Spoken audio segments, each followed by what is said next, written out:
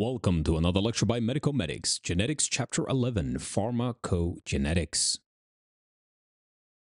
In this lecture, we will talk about pharmacogenetics, mention some key concepts, talk about pharmacogenetics and drug response, adverse drug reactions, continuing down to pharmacogenetics in personalized medicine, and end with a summary. Now, pharmacogenetics is the study of how an individual's genetic makeup affects their response to drugs. And the goal is to optimize drug therapy for each individual based on their genetics. Relevance to reduce adverse drug reactions, to enhance drug efficiency, and to guide personalized medicine. So, pharmacogenetics studies how your DNA affects the way medicines work in your body like customizing a treatment plan just for you. Some key concepts are drug metabolism, so enzymes break down drugs in the body. Genetic variations can make enzymes either too fast, so ultra metabolizers, or too slow. Another concept is pharmacokinetics, so how the body absorbs, distributes, metabolizes, and excretes drugs. Another one is pharmacodynamics, so how drugs affect the body, influenced by genetic differences. So essentially, your genes affect how quickly or slowly your body processes medicines and how well they work. So, some variations in how drug metabolism is affected. For example, cytochrome P450 enzymes, CyPCs, this is a family of enzymes responsible for metabolizing most drugs.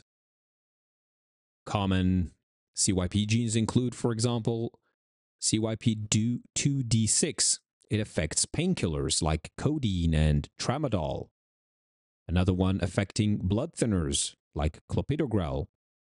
CYP3A4 metabolizes many drugs. What is the impact of these variants? Well, poor metabolizers increase drug toxicity. Ultra rapid metabolizers will reduce drug efficiency. For example, codeine is converted by, uh, to morphine. Codeine is converted to morphine by CYP2D6 enzyme. And poor metabolizers experience little pain relief, while ultra metabolizers risk overdose. So some people process medicines too slowly or too quickly because of their genes.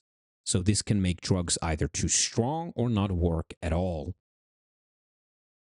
Now let's briefly mention a little bit of how genetic testing could help us adjust medications to make them safer and more effective. For example, warfarin, which is a blood thinner. Depending on these genes, the variation will affect how the drug is metabolized and their sensitivity to it, so we can adjust doses based on their genetic setting. When we talk about antidepressants, so if you have the gene SLC6A4, which is a tra- uh, serotonin transporter gene, the variations of this gene will influence the response to serotonin to selective serotonin reuptake inhibitors like fluoxetine. In cancer drugs, for example, you have the gene TPMT, and variations in this can affect tolerance to drugs like mercaptopurine. Now, adverse drug reactions are unintended, harmful effects of medications that occur at normal doses used for treatment and they range from mild side effects like nausea to severe and life threatening reactions like organ failure or anaphylaxis, etc. So, certain genetic variations affect how individuals metabolize, respond to, or tolerate drugs, leading to a higher risk of these adverse drug reactions. So, for example, the HLA-B gene which plays a key role in our immune system recognition, some variants predict hypersensitivity reactions. For example, we have HLA-B 5701, right? And this is linked to severe allergic reactions to the drug abacavir, which is an HIV drug. And this causes hypersensitivity syndrome to this drug, which can be life threatening. Another example is the CYP2C9 variant um, or enzyme. So, this enzyme is a liver enzyme that metabolizes warfarin, which is a blood thinner. And the variants, different variants of this, like CYP2C92 or 93, slow metabolism which increases bleeding risk due to excessive drug accumulation. So, understanding genetics, uh, genetic links to these adverse drug reactions allows for very personalized, uh, very personalized type of medicine where drug choice and dosing can be tailored to an individual's genetic profile, which would, of course, improve safety and efficiency.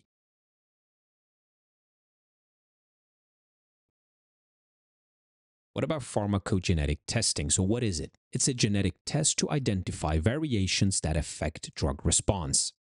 How it works is we collect a DNA sample from blood or saliva, we analyze genes associated with drug metabolism and response.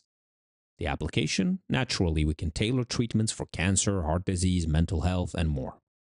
For example, genetic testing for CYP2C19 can guide the use of clopidogrel in patients at risk for heart attacks. Now, as we've mentioned, personalized medicine is tailoring treatments to an individual's genetic profile. Some key benefits include fewer side effects, better efficiency of the drug, improved patient outcomes. So, the idea is to use your specific genetic information to give you the best treatment possible, like building a custom made suit. Some challenges in pharmacogenetics include scientific issues like limited understanding of rare genetic variants, the complexity of the gene environment interaction, ethical concerns like privacy of genetic information or risk of genetic discrimination, and of course, in clinical implementation, so the cost of genetic testing and integrating genetic data into medical practice. So it is a it has a great potential but challenges like cost and privacy, etc., need to be addressed. What does the future hold? Where upcoming trends include combining genetic data with AI to predict drug responses, expanding pharmacogenetics testing to more populations, developing more targeted therapies. Potentials include transforming healthcare with a safer, more effective treatment, reducing healthcare costs by preventing these adverse drug reactions. Example could be AI tools used to analyze your entire genome to recommend the best drug treatment for you. So in summary then, pharmacogenetics explores how genetic variation affect drug response.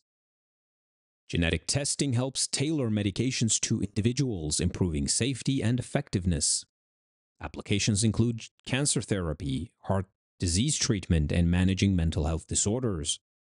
Challenges include ethical ones, cost issues, integrating genetic data into healthcare systems. So, pharmacogenetics is about matching the right medicine to the right person using DNA, making treatment safer and more effective. That's the end of this lecture. Continue now to chapter 12.